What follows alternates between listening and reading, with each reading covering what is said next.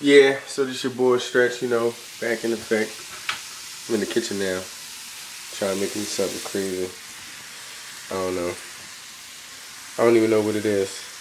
We're just creating something. Can y'all see that? Let me make sure y'all can see that. Y'all can't see nothing else. Y'all can see that.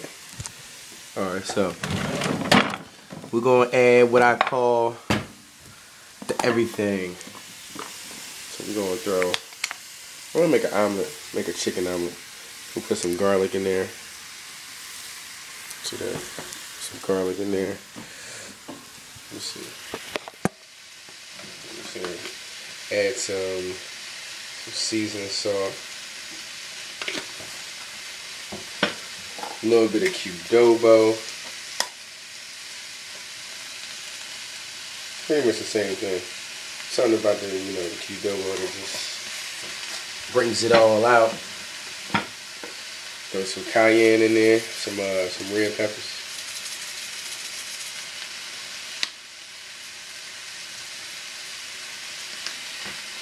Might even make a cheese steak mess around. Mess around with me. But it's chicken though. I don't, go, I don't do too much extreme. Some Italian, Italian herbs in there. It's called the seasoning gumbo. You know, a little bit of everything. Everything that tastes good anyway.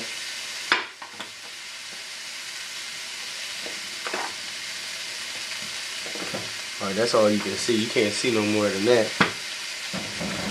I ain't trying to have you thinking like, you know, Stretch can cook. And then y'all just want to have Stretch just flambe all day long. Yeah.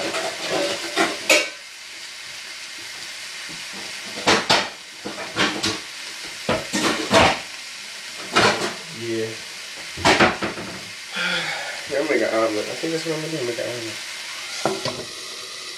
That's what it is. Right on there. We'll have that joint popping.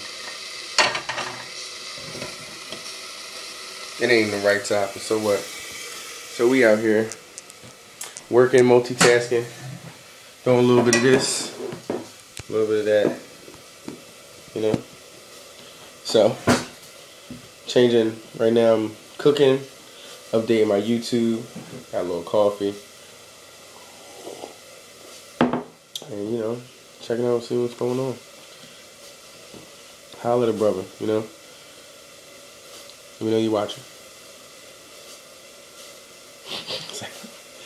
Alright.